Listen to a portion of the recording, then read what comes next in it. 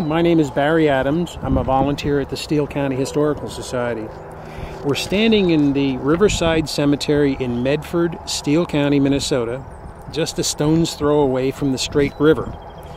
We're at a tombstone marked George P. Sawyer, fell at Gettysburg, Pennsylvania, July 2, 1863, age 24 years. I'm holding a few dozen of the letters that George had written to a very special female friend, Helen, also known as Nellie Sanborn. Both George and Nellie were in the first wave of settlers to inhabit Steele County in the early 1850s. Their families moved here from New Hampshire. They settled along the Straight River. The Sawyers, Sanborns, Scribners, Abbotts, and Prescotts were the first families around here, and they were thriving in 1861 when the Civil War began. George was 22 then and was among the first to sign up. He joined the famous 1st Minnesota Regiment and went off to war in April 1861. The Steele County Historical Society invites you to visit us and examine the letters George wrote to Nellie. He loved the Medford Clinton Falls area, and it's just as evident in his letters his special affection for Nellie. Nellie was 16 when the war broke out.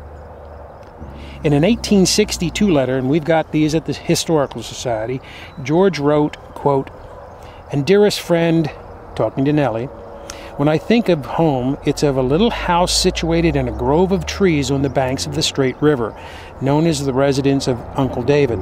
That's Nellie's dad.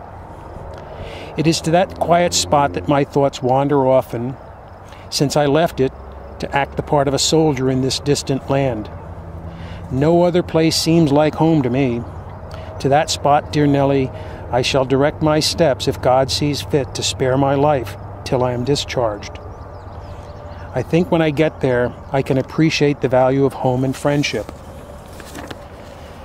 George finished quite a few of his letters to Nellie with this phrase a thousand kisses and many good wishes.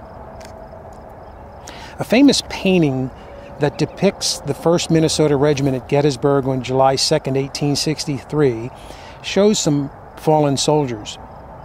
George P. Sawyer died there that day. General Hancock said that of that event, no soldiers on any field in this or any country ever displayed grander heroism. Come to the Steele County Historical Society to learn more about George, Nellie, and more than 700 other Civil War soldiers. The Steele County Historical Society's mission is preserving and sharing history today for tomorrow.